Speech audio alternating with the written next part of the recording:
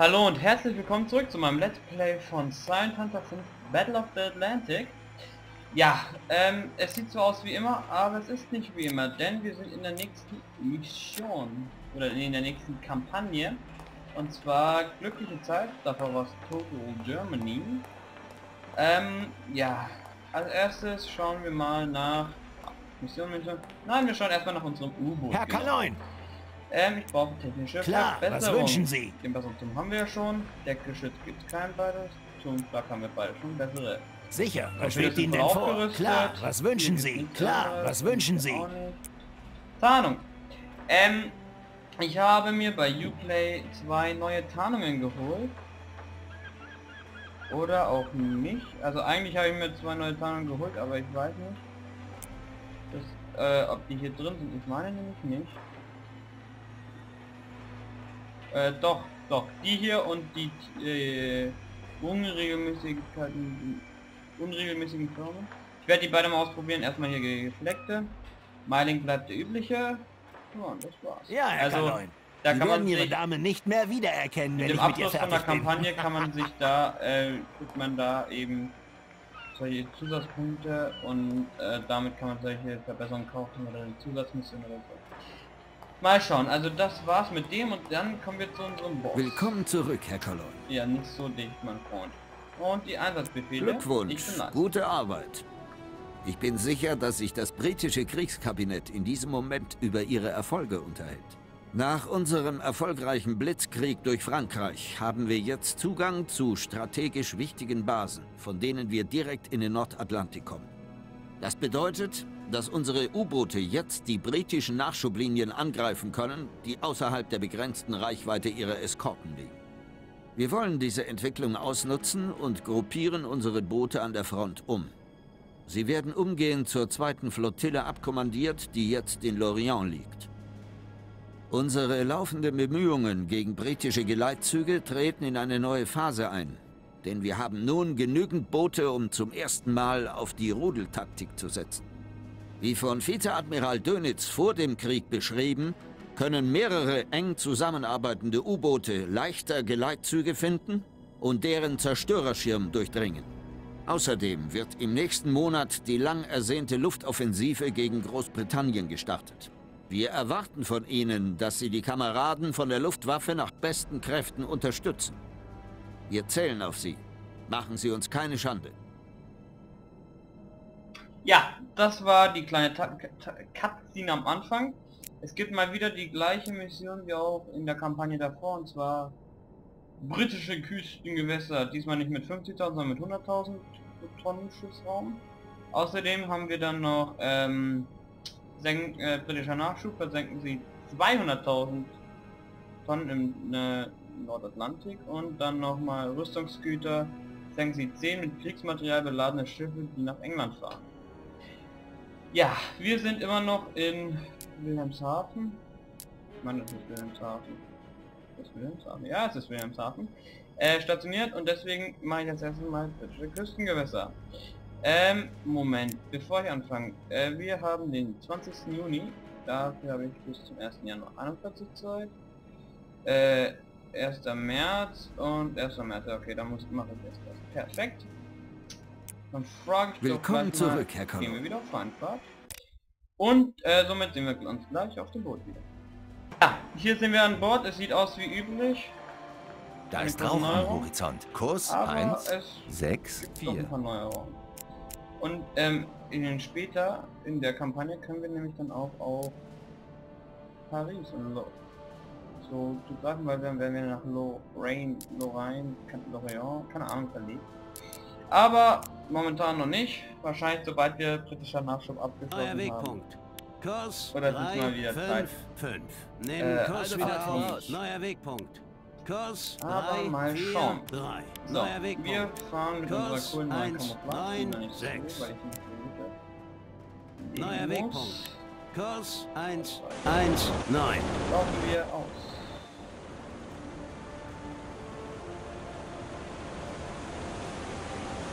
Okay, diese, ich finde, naja, das schaut nicht ganz so gut aus wie die alte. Ich finde, es schaut geil aus mit den Geschichten vorne und so. Wäre zwar cooler, wäre noch, hätte ich noch ein zweites Paket, äh, ein zweiter Achter. Aber das ist leider nicht möglich. Ich glaube, solche Schlangen einführen sind.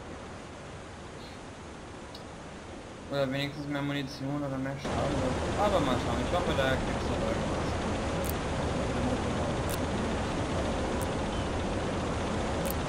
Wurde auch angeschrieben, dass ich mehr von außen zeigen soll. Hier jetzt auch. Wie gesagt, ähm, das mache ich gleich mit der Außenkamera. Äh, als erstes muss ich aber hier noch was verweisen. Das geht aber mal.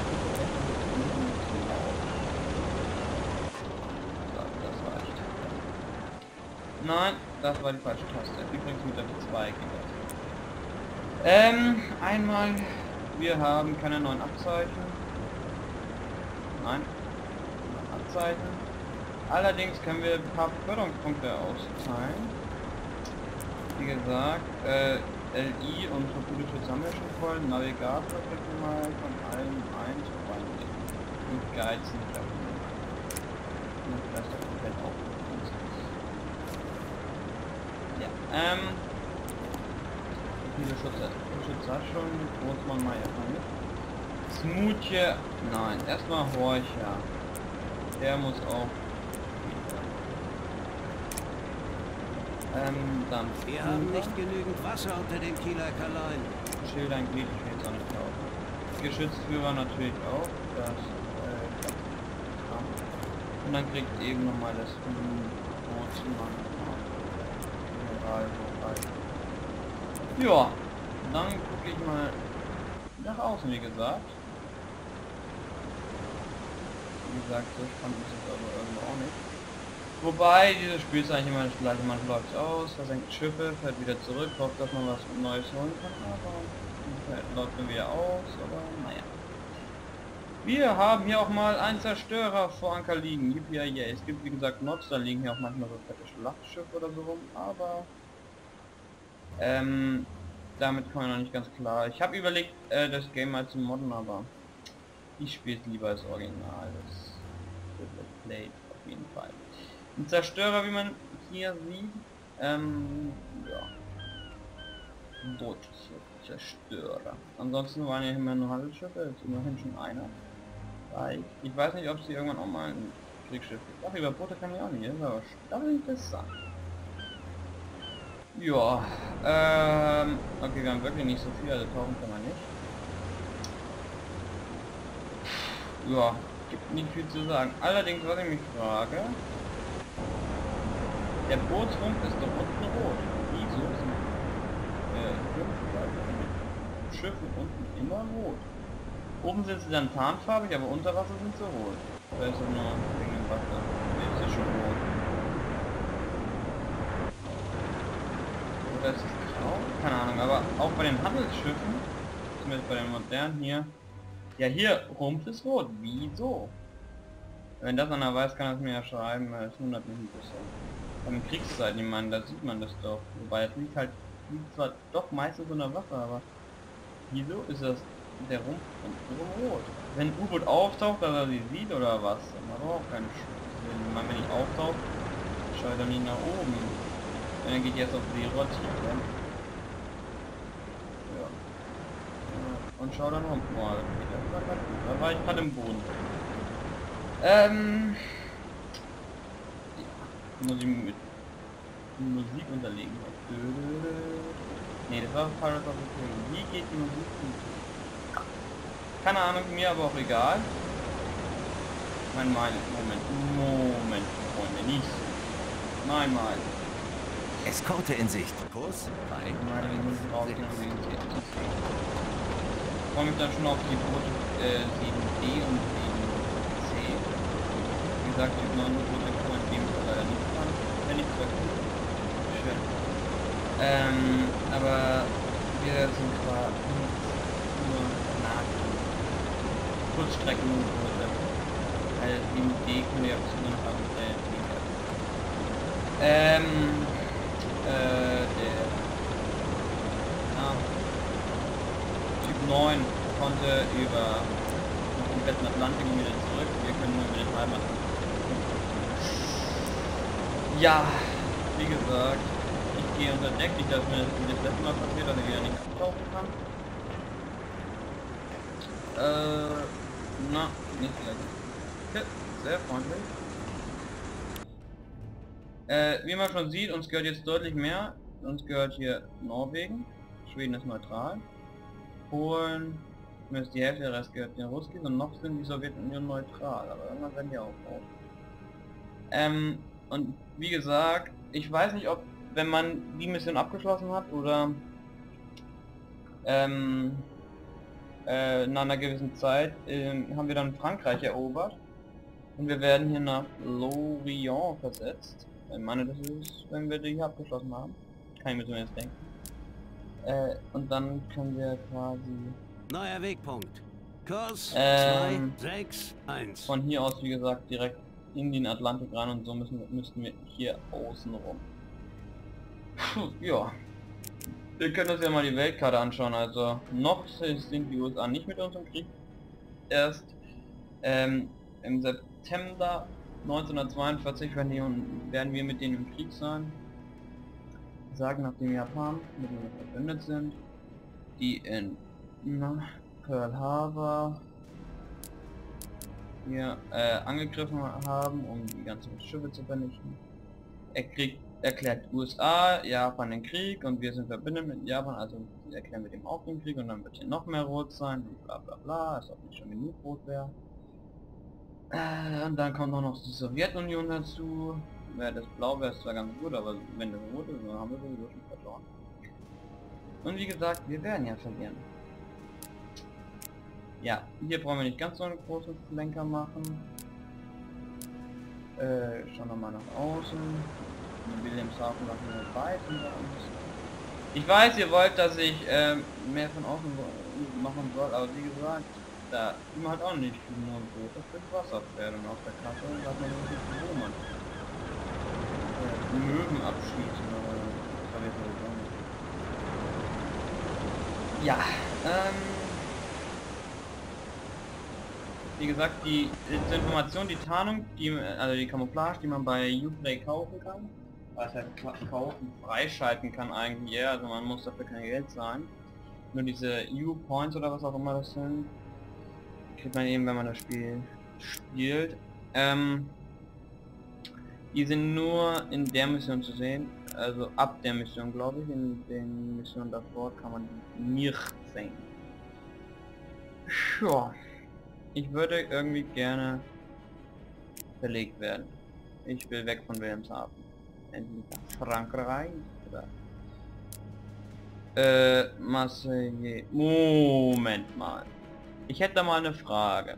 Blau sind ja wie gesagt verbündete Stützpunkte, aber im tiefsten Frankreich, in Marseille und, und Toulon, da werden wir niemals sein. Also mit Deutschland, meine, mit mir, wir meine ich jetzt Deutschland, ich meine, hier wird dann irgendwo die Grenze rumlaufen. Und der Süden wird ja äh, neutral dann sein. Naja, weiß ich nicht. Ich schippe jetzt hier weg, es wird mir dann langsam doch zu bunt. Beweg dich. Kriegsschiff. Verbündetes. Fährt da anscheinend Patrouille um die Insel. Ah, jetzt lag. Schiff in Sicht. Kurs 1, 8, 2. Mach die Reiseding rein. Wir haben nicht genügend Wasser unter dem... Wie gesagt, solange wir reisen, ist ja kein Problem. Wie genug, genügend Wasser. Tiefe unter Kiel beträgt 17 Okay, Meter, Herr. Hier ist so eine so eine Sandbank, die nicht eingezeichnet ist. Da bin ich auch schon mal ausgelaufen. Vergessen habe wieder aufzutauchen. Vielleicht erinnern sich da manche. Das war nicht so cool. Also da hätten sie noch ein bisschen mehr einzeichnen können. So.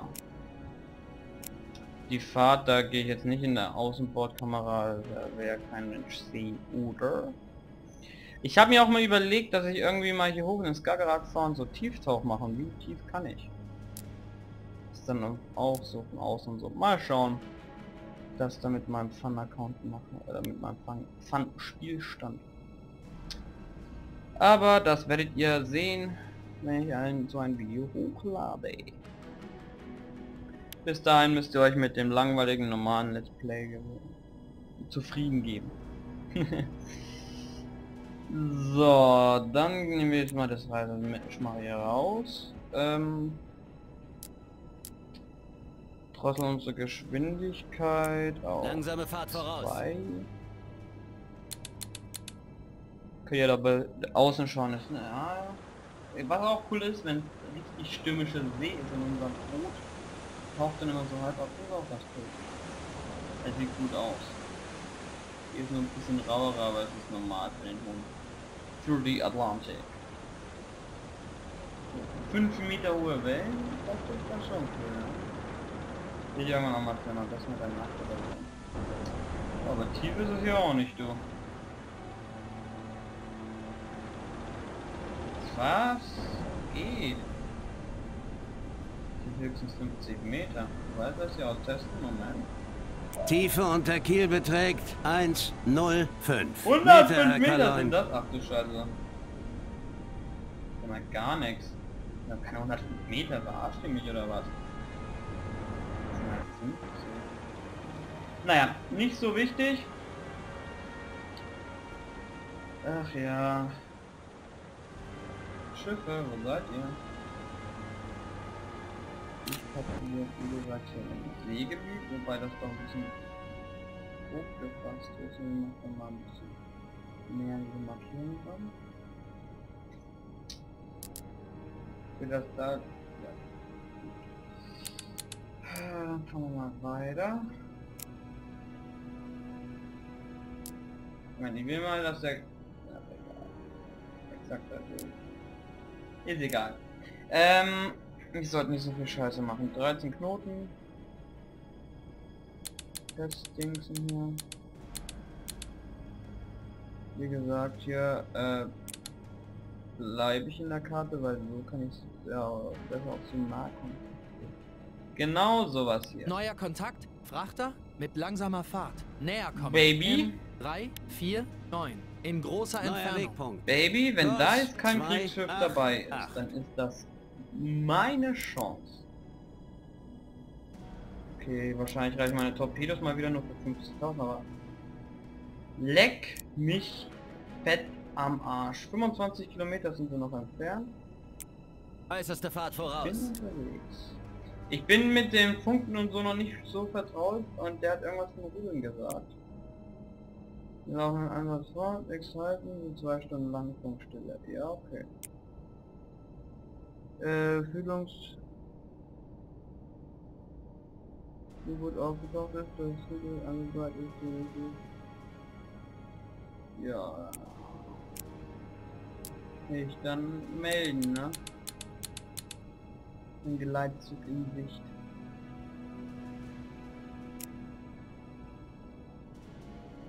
Ich hätte meine Neuer Kontakt, Frachter mit langsamer Fahrt. Näher kommend. In du 10. Scheiße. In großer Entfernung. Baby? Ähm, ich will mal hier was funken, Jungs. So, habe ich jetzt. Was soll ich jetzt machen? Wie weit sind wir? 10 Kilometer.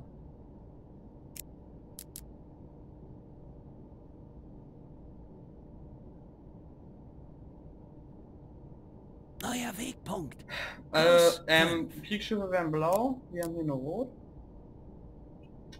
Ich weiß aber nicht, ihr habt das jetzt Neuer gemeldet. Kontakt, Frachter mit langsamer Fahrt. Ich Näher kommend. Antwort In warten oder 3, angreifen? 4, Alter, 9. In großer Entfernung.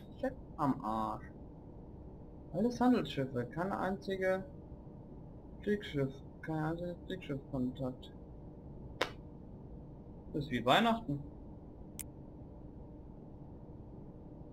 Ah.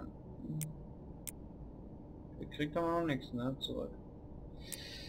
Ach ja, ich weiß nicht. Ähm, ich will auf jeden Fall erstmal unerkannt bleiben. Weil die hier sind Handelsschiffe. Ja. Komm schon, Antwort, Boss. Was ist denn hier? Kriegsheerbuch die? Nee. Sagen wir das denn? Nee, das Feuer ist nicht.